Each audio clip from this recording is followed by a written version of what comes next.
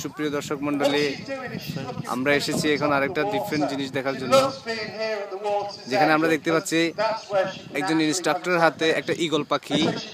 সে তার ডিরেকশনেই খেলা দেখা দিছে, যার জন্য অধীর আগ্রহে বসে আছে হাজার হাজার দর্শক। যার ভিড়ে আমরাও আছি, যার ভিড়ে আমাদের এই পাঁচজনের অভিযাত্রা আমরাও আছি। degrees a. And so what we're going do is we're going move on now to এই ঈগল পাখিটি সে যেভাবে বলতেছে সেভাবে তার কথা মতো খেলা প্রদর্শন করতেছে আমরা দেখতেছি।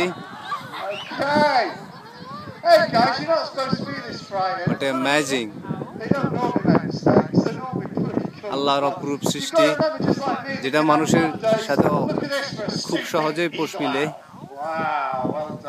Owl. Wow, well done. This one's called Malcolm. He's a European eagle owl. And he's found normally in Europe. Okay, and we get them in the UK a little bit. They've been released illegally.